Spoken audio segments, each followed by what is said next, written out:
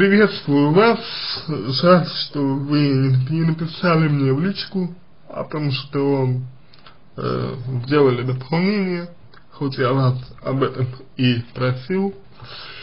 Но тем не менее, я увидел случайно, что вы э, сделали дополнение, вот, э, и поэтому я вам отвечу на него, на, на, на это дополнение. Э, если э, ваша э, девушка, значит, э, вела себя так, как вы описывали по э, большому большому абзацу в эгоизме, то что из этого можно заключить? Заключить это можно, можно, заключить можно только то, что, как бы, ну, она боится вас потерять, она не хочет допускать и возможности того, что вы можете где-то быть, она боится вас потерять, она боится потерять опору, потому что она перевесила на вас э, все свои как бы особенности, все свои, все свои обязанности по дому и так далее. Вот. А Сашей, с которым она встречалась долгое время, если вы а, немножечко копнете, то увидите, что она, скорее всего, с ним встречалась только потому, что он ей а, что-то давал. Он ей что для нее что-то делал. И тогда у вас выстроится более полная картина того, что происходит. По поводу того, что на вас 90% обязанностей и так и должно быть. Вы знаете, безусловно, есть а, такие женщины, которые считают, что мужчина должен делать все. Мужчина должен делать э, все, что вот э, от него зависит. Мужчина должен делать все. И это может быть так, особенно если вы с этим согласны. Но проблема заключается в другом. Проблема заключается в том, что как бы тот факт, что вы выполняете большинство обязанностей по дому, там, по уходу за ребенком и прочее, а, позволяет вам, как бы дает вам а, возможность, ну, получать достаточно пространства своего, достаточно пространства. Просто потому, что вы э, делаете основную часть работы по дому. Получается же, что э, ваша девушка вам этого не дает. То есть она думает только о себе, не о вас, а только о себе. Ну и все. А, не совсем понимаю, что вам а, еще нужно из этого понять.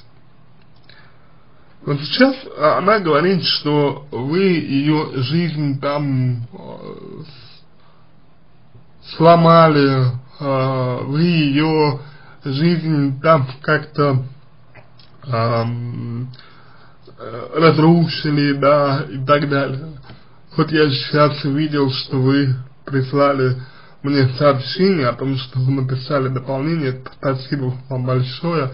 На момент э, записи этого, этого сообщения не было. Поэтому прошу вас прощения. прощения. Ну, просто многие клиенты не пишут, не пишут ничего о том, что э, дополняют свой вопрос.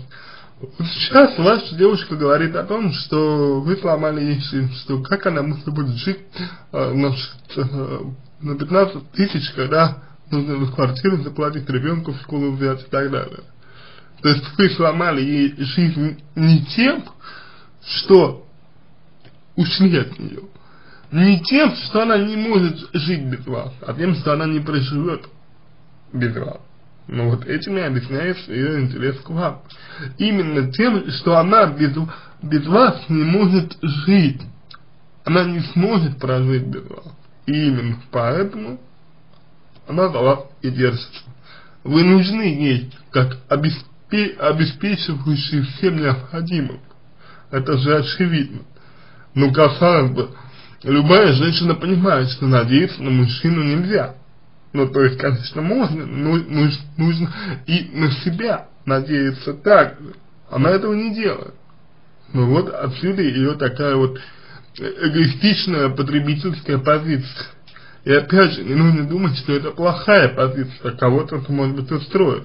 Но вы говорите, что вам, вам обидно о том, что вы все делаете, а вам еще и претензии какие-то предъявляют. Совершенно верно. Потому что человек, который ведет себя подобным образом, он видит только свои, свои интересы. И все. Свои интересы, но ни в коем случае не друг, интересы других людей.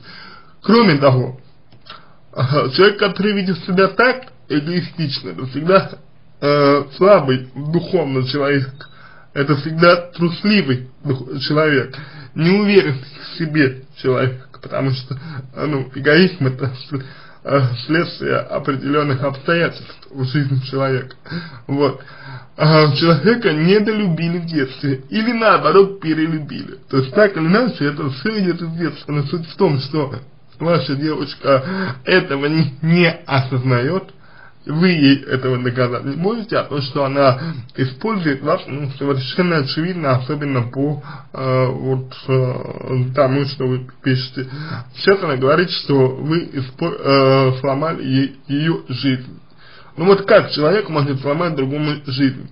Если любой, э, ну такой, адекватный, самостоятельный, взрослый, серьезный и зрелый человек – свой, свою как бы жизнь имеет, и будучи самостоятельным и независимым, да, он как бы свободной волей соединяет ее, собственно, с э, жизнью другого. А тут получается не так. Ну, вы хотите быть тем, от кого она зависит, причем зависит не эмоционально, а материально. То есть, если кто-то предложит ей больше, есть основания полагать, что она пойдет к нему просто. Потому что он предложит ей больше, больше уверенности, больше возможностей. Ну, уже, уже это э, можно, конечно, это из, из области предположений идет речь. То есть вы здесь говорите, видите, как вы здесь пишете, что она упирается на деньги. Неужели вам это правда, это правда не ясно? Человек не говорит, не говорит, прости меня там, за то, что я сделала, э, там, я не могу без тебя, ты мне нужен, я поняла, что ты единственный. Нет. Она говорит, что вы сломали жизнь, как она будет жить на 15, на 15 тысяч? А жила ли она одна когда-нибудь на эти деньги? Нет. Если она одна не жила, значит она была, э, прыгала из отношений в отношения, а раз так, то люди для нее это всего лишь средство. Чтобы человека воспринимать как самоцель, необходимо быть самодостаточным и независимым от людей. Тогда можно людей воспринимать как самоцель. Но ваша девушка совершенно не такая, значит, людей воспринимать как самую цель она не может. Может быть, для нее это и есть любовь, любовь.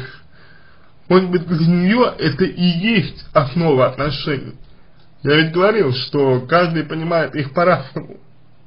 Но нужно понимать, а насколько приемлемо это для вас. Вот и все.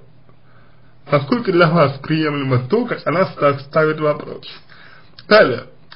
Значит, эм, по поводу того, как она объяснила это, что он шантажировал ее, что учил ее обманывать так, э, что внушал, на что у нас нет ничего внушал ей, что у нас ничего не получится, она вечно его сравнивала и в пример приводила, а почему с ним встречалась во время наших отношений, якобы то он как родной был. А вы, получается, кто тогда? Мы же, ну она его жалеет, но он ей родной, так почему она с ним не осталась? Потому что с вами лучше. Все как бы логично. Знаете, если вам что-то непонятно, если вам э, какое-то поведение кого-либо не ясно, задайте себе вопрос, кому это выгодно. И сразу все придет в, норму. Сразу появится четкое понимание, почему происходят те или иные вещи. Если вам, вот вы говорите бред, не бред, человек преследует свою цель, преследует целенаправленно, жестко и достаточно определенно. Чем он мог ее шантажировать, почему она училась обманывать, э, не очень понятно. Чтобы шантажировать, нужно, чтобы было чем шантажировать. Чтобы научить человека обмануть, э, обманывать, нужно, чтобы человек сам хотел это, этого. Если он учил, учил ее обманывать, получается, что и она может вас обма обманывать. Понимаете? Вы для себя определите, каких вы сами, э, каких отношений вы сами для себя хотите. Вот вы это определите для себя. Понимаете? И когда определите, посмотрите, имеете ли вы то, что вот у, вас есть сейчас, соответствует ли это тому, чего, чего вы хотите, или нет. Если нет, не соответствует, то по большому счету не важно, как себя ведет девушка. По большому счету не важно, что она чувствует. Если это не соответствует, это не ваше. А если вы чувствуете, что при всех, при всех минусах все равно э, это то, чего вы хотите, и девушка та, как, э, какая вам нравится, из которой вы хотите быть, то опять же, не важно, как она себя ведет. Важно, что это то, чего вы хотите. Но тогда вам необходимо, наслаждаться моментом. То есть наслаждаться тем, что есть. Не рассчитывать на какие-то долгосрочные перспективы, к сожалению. На этом, я думаю, можно ответ завершить. А, надеюсь, надеюсь, что помог вам. А, если вопросы какие-то остались, а, пишите, буду рад помочь. А, если понравился мой ответ, то надеюсь, какой-то какой, из них сделаете лучшим. Всего вам доброго, желаю принять верное решение. А, удачи!